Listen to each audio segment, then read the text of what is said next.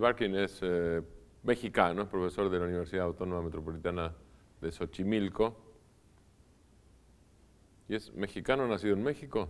Soy mexicano por naturalización. ¿Por decisión? Naturalización y Y decisión. la naturalización fue por una decisión. Claro.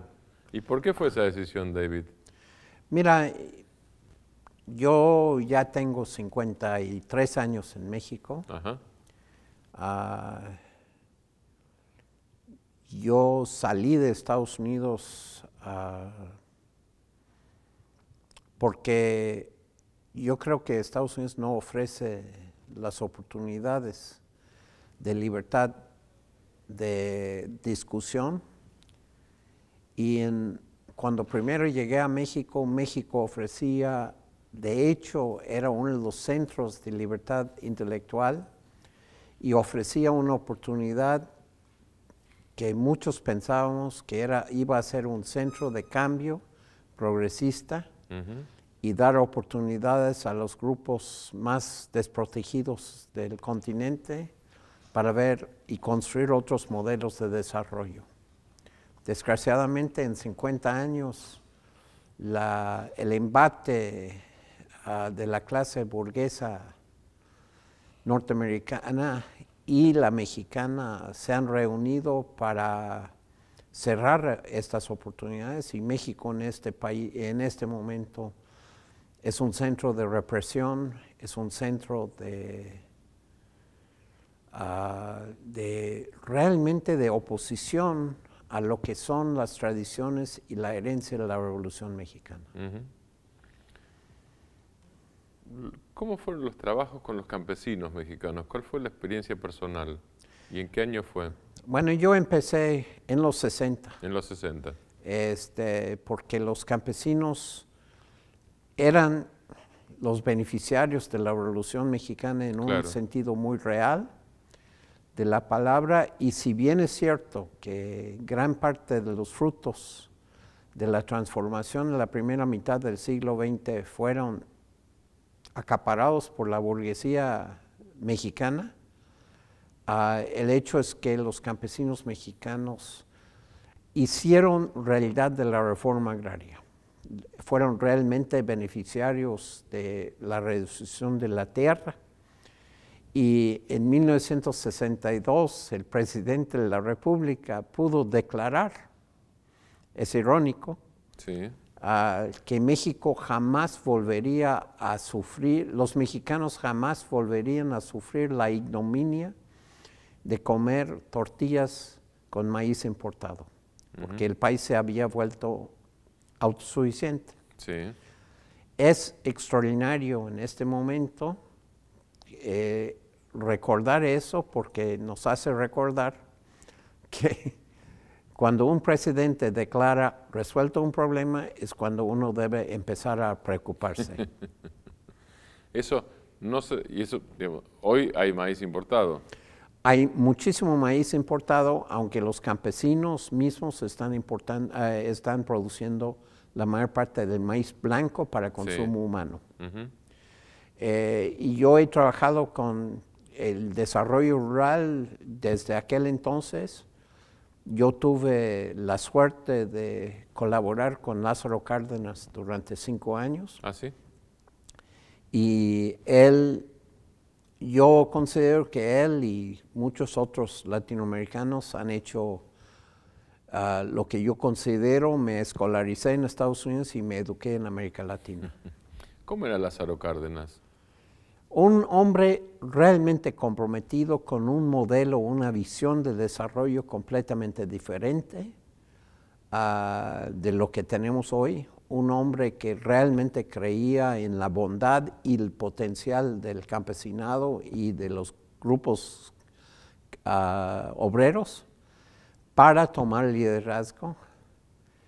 Eh, desgraciadamente él mismo nunca se dio cuenta de la capacidad, yo creo, de la capacidad de las eh, élites de su propio país de traicionar este Sí. modelo, esta este pensamiento.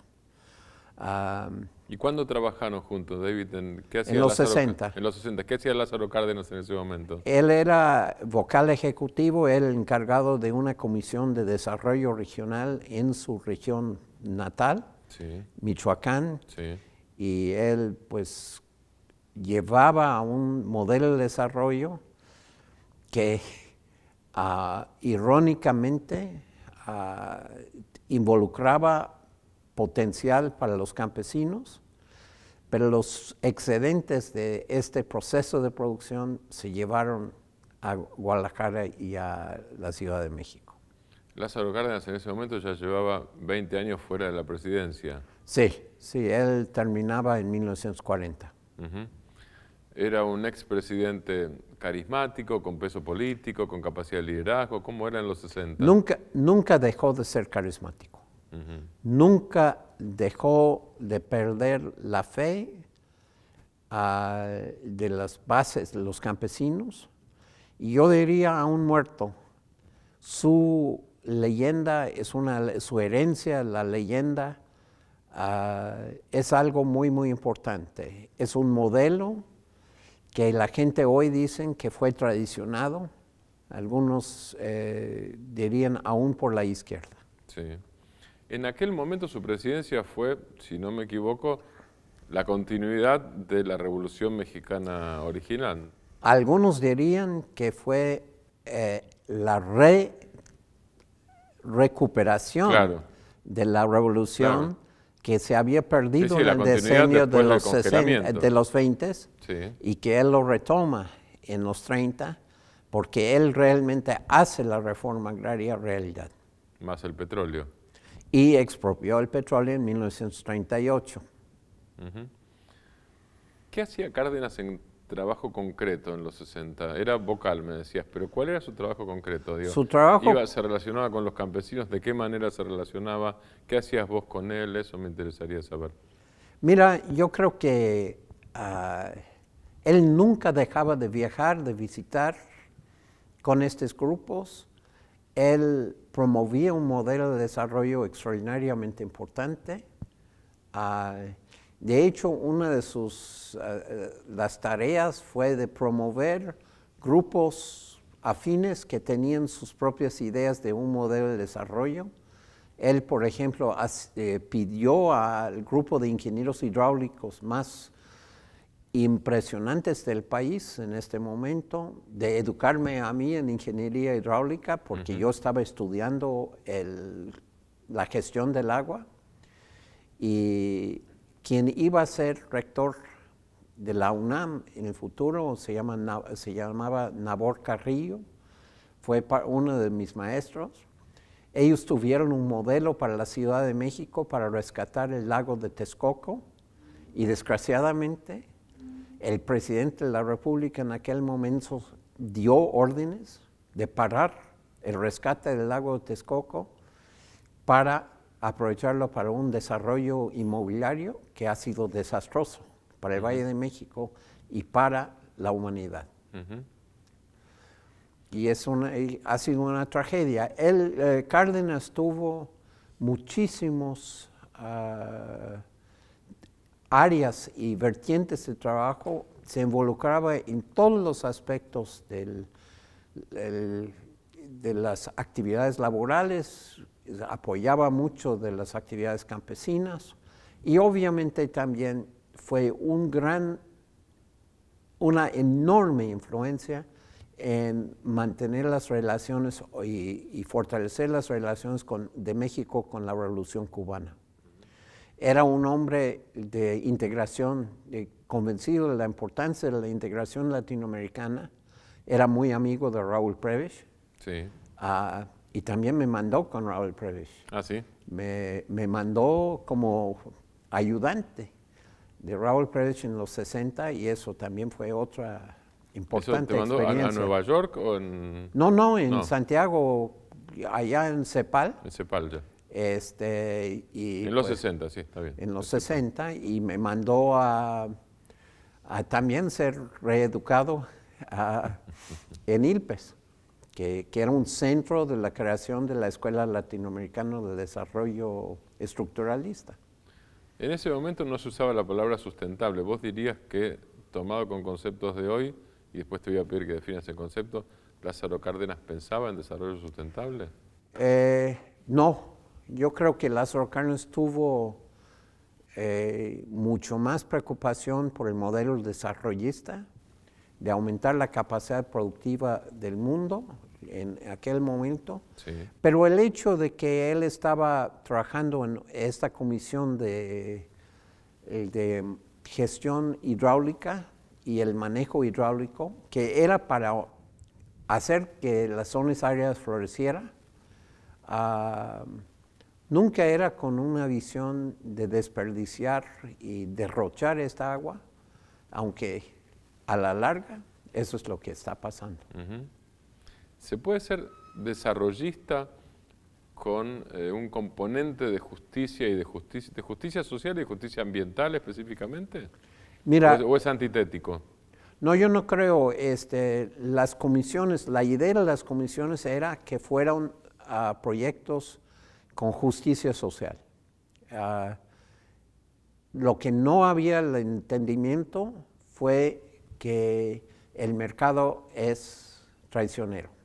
Uh, y el de abrir oportunidades para la inversión de capital es imponer estructuras que expropian los beneficios para el capital.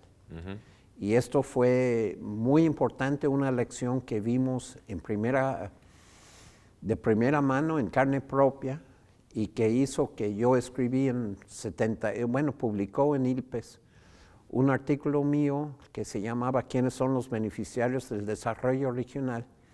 que en aquel... ¿En, qué año fue? 70, 72, 72. Que volvió un texto que todos los estudiantes de, ILPES leyeron en su momento. Y fue una experiencia extraordinaria, para mí fue una experiencia extraordinaria porque eh, integró a la visión cepalina este aspecto regional que complementaba la aportación de Celso Furtado, que también era parte de esta discusión y muy, muy importante. ¿Qué aportaba Celso Furtado específicamente? Mira, Celso Furtado salió de su DN en exilio y vino en 65, si mal no me acuerdo, a CEPAL, después se fue a Yale University donde tuve la oportunidad de trabajar con él un año, de vivir con él, convivir con él. Ah, éramos muy pocos que pudiéramos eh, conversar en español, en inglés y, pues él después se fue a Francia, pero, eh, pero la importancia, la visión de Furtado sobre la historia de América Latina Ah, tenía esta idea de que habrá que descentralizar el desarrollo, ah, habrá que lograr eh, canalizar los beneficios hacia las regiones apartadas.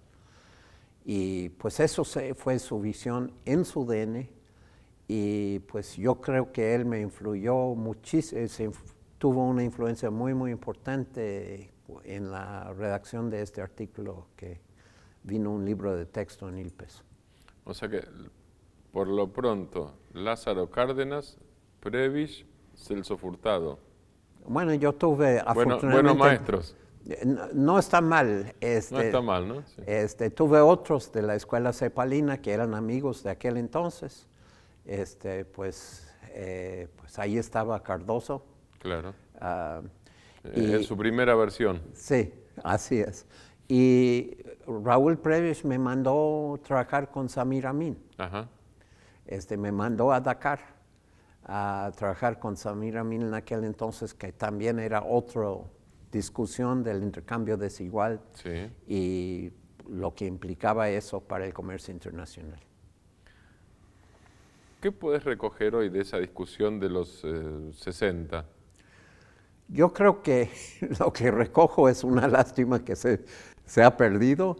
Es una tragedia que CEPAL mismo ah, no lo está, ah, bueno, lo guarda allá en la sala de Raúl Preves allá, hay la sala de seminario allá, y es una lástima que tan poquito se usa para sus fines originales. yo creo que la visión de CEPAL hoy en día es una lástima. sin embargo, CEPAL todavía abre espacios para discusión ah, que nos, nos dieron y nos está dando posibilidades para varios temas. Pero la verdad es que sus preocupaciones macroeconómicas son tan ortodoxas en este momento que CEPAL ha dejado de ser un líder. también, perdón, también en los últimos años, por los últimos años se advierten preocupaciones por el tema de políticas contra la pobreza, por el tema de desigualdad, aparecen eso en textos de CEPAL, no, que no aparecían tal vez hace 10 o 15 años.